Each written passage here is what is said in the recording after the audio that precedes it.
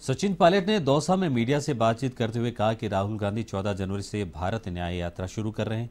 यह यात्रा मणिपुर से शुरू होगी। इस यात्रा से आमजन को जुड़ने का मौका मिलेगा।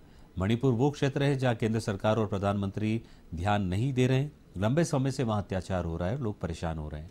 इस माहौल में राहुल गांधी वहाँ से यात्रा शुरू कर रहे हैं। हम सब लोग इस यात्रा में जाएँगे और यात्रा का शुभारंभ करेंगे। अभी अखिल भारतीय कांग्रेस कमेटी ने कुछ बदलाव किया है और मेरे को भी एक प्रदेश की ज़िम्मेदारी दी है। वहाँ हम पूरी मेहनत से काम करेंगे।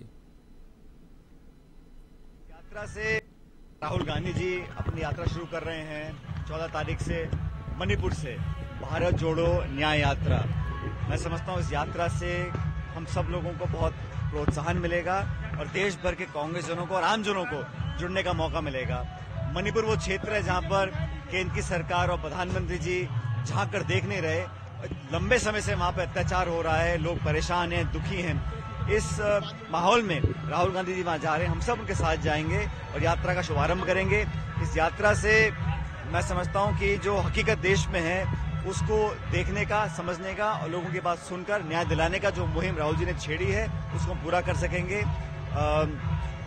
अभी अखिल भारतीय कांग्रेस कमेटी ने कुछ बदलाव किए हैं, कुछ जिम्मेदारियाँ दी हैं। मुझको भी एक प्रदेश की ज़िम्मेदारी दी है। हम पूरी मेहनत से वहाँ काम करेंगे। और मैं ऐसा मानता हूँ कि हम यहाँ चुनाव ना जीते हों, छत्तीसगढ़ में, राजस्थान, मध्य प्रदेश में, लेकिन हमारा वोट प्रतिशत उतना ही है। लोग आज भी उम्मीद कांग्रेस से करते हैं और हमारा जो इंडिया अलायंस है, वो एक बहुत बेहतर अलायंस है।